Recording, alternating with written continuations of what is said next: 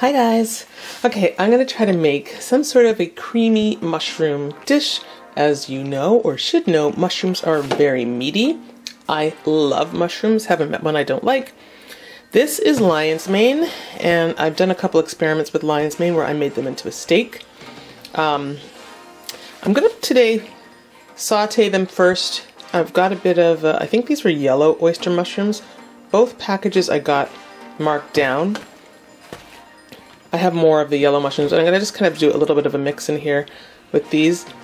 I'm to wash them up, um, pan fry them with like some vegan butter and garlic, and I'm to then try to make a, a creamy sauce to go with it, which you could have with like mashed potatoes or noodles. My daughter showed me some sort of creamy uh, dish that I popped up on Instagram. I think it was for chicken, but I'm like, well, we can veganize that. So that's what I'm gonna do. So I'm gonna start by washing. Uh, there's a part of me that's like, should I make steaks to this? Maybe I'll use just a little bit of this and I'll make a steak with the other port portion. I didn't show you how I made the steaks, but I'll see if I do or if I don't. All right, guys, I'm gonna get started.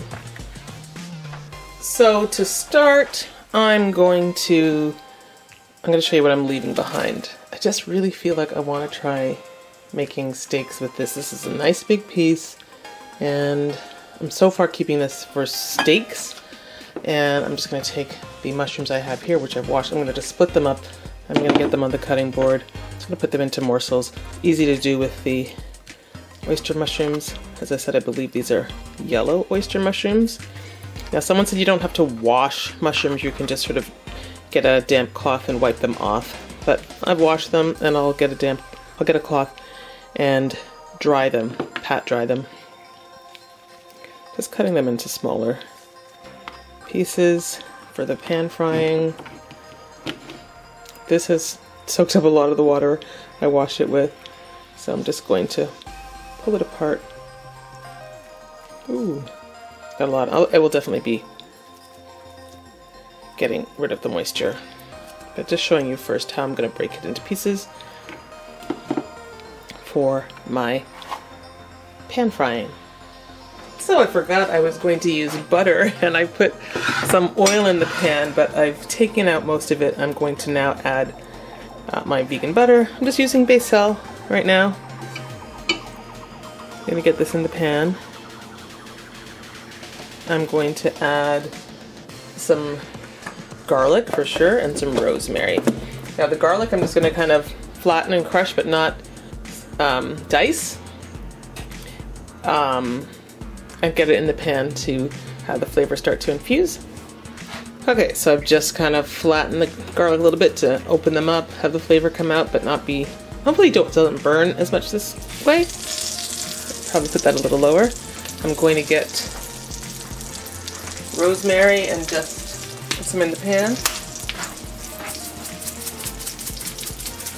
This is just dried rosemary, and I'm not even measuring so let's say like half a teaspoon to a teaspoon. I'll see how the flavors seem to smell. And obviously when I make the um, the cream sauce, that's when I'm going to infuse more flavor and so forth. It's on a medium lowish heat. I'm just going to start putting pieces in. Maybe small batch fry them. I might need a bit more of my butter.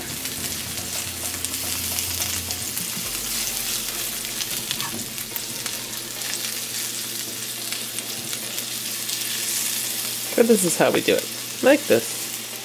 So I started off with a kind of a medium heat, maybe a little medium lower, and I'm putting the heat up a little higher. I've started with some pieces, as you see they're nice and golden brown. I'm now adding the rest. I might take out some of the other pieces. Uh, I'm to try probably as much as I can to I don't get the liquid out. I don't know if it's necessary. On one hand, I want these a bit crispier, but then on the other hand, I'm to be putting a cream sauce, so we'll see how that goes. But I might take the ones that are more done out after sort of squeezing out the liquid. And when you think you have too mushroom, too too many mushrooms, sorry, you realize they shrink. So I still think this is a good amount for uh, either the pasta or mashed potatoes I'll, I'll put this with. Okay, look how nicely brown they are. So just taking my time to slow cook them. Looks yummy, smells delicious. And I'm now going to be testing, at, well, be doing the creamy part. And I bought the Violife Parmesan that you have to grate. So it's to be my time to test and review that. So now I'm letting my lion's mane sit aside and I'm going to boil my pasta. Salt your water. You guys know some chefs believe you should salt the water to where it tastes like the ocean? That might not be enough salt, but it's okay. I'm to be obviously putting uh, flavor into the my pasta dish as it's cooking. But yeah, definitely salt your water. Unless you really don't want salt, that's fine. But salting your pasta tastes so nice. I'm using a linguine pasta. You can use spaghetti. I'm gonna use linguine. It's a little. You can use fettuccine. So linguine is a little fatter than spaghetti, not quite as big as fettuccine. I also, when I boil my water, just to help the step pasta to not stick together, I put in a little bit of oil. I'm going to put a little oil in there as well. I should point out that for this recipe, I'm using about half of my package of the linguine, and it's 450 grams. I'm just taking out about half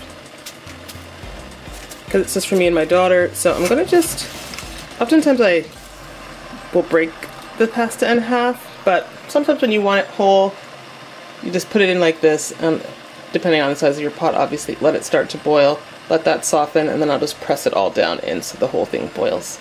Does it make sense? I'll show you in a moment what I mean. So once one side starts to soften up, I just sort of start to push a little bit. You can take your spatula, spoon, whatever, and also push.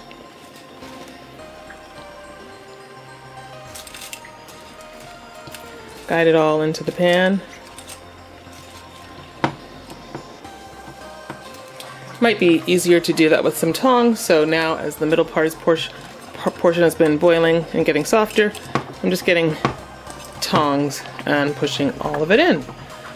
So this way, it's going to boil and you're going to have longer pieces of pasta.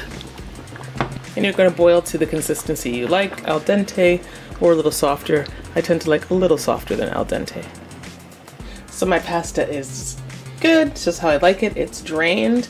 I'm going to start making my cream sauce for which I'm using the Violife Parmesan wedge portion, which I have grated some here. So I'm gonna get started with that. I'm gonna once again saute some garlic and onions this time in the pan with um, more vegan butter and then add in the mushrooms and the pasta. So I'm just using the same pan that I already had sauteed the mushrooms and other items in. I'm putting, that's like about a tablespoon of vegan butter. I might add a little more, we'll see. And to that I'm adding one small diced onion.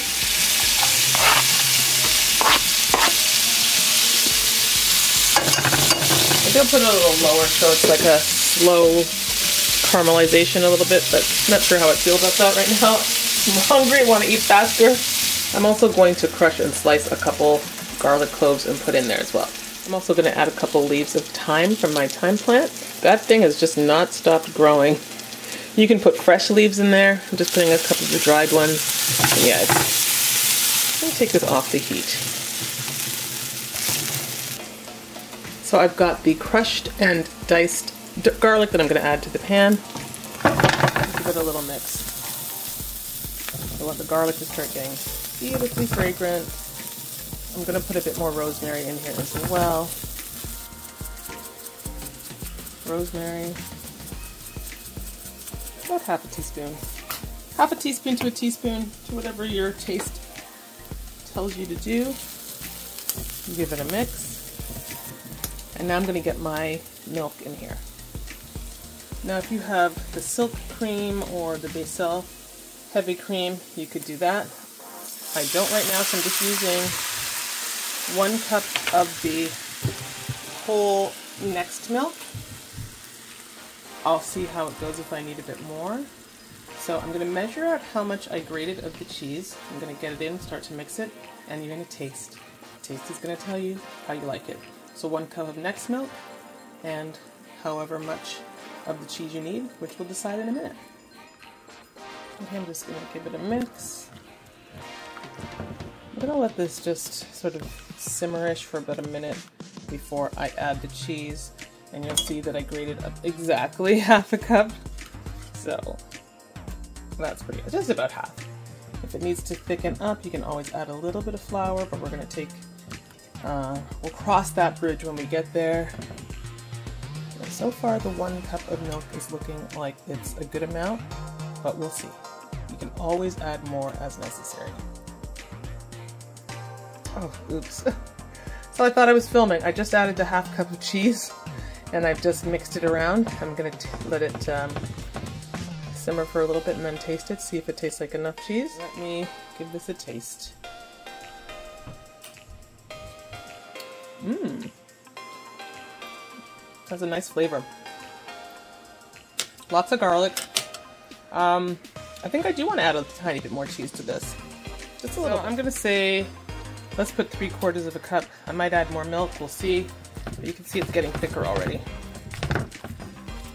So I think what I'm going to do first is add the pasta because that way I'll know if I have enough milk.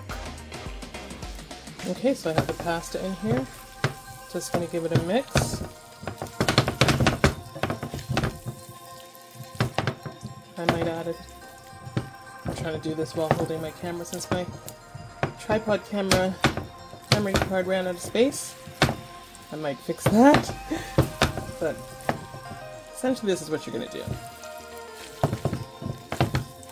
Okay, so now I've added the pasta, which I think looks nicely coated. But I might put a little more milk, we'll see, because I'm going to be adding the mushrooms. Okay, just putting the mushrooms on top.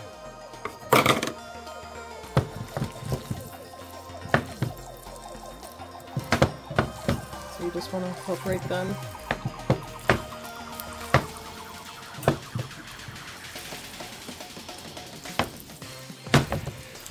I cannot wait to eat this. And just because I feel like I could possibly use a little more milk, I'm just gonna pour. That's maybe like an eighth of a cup.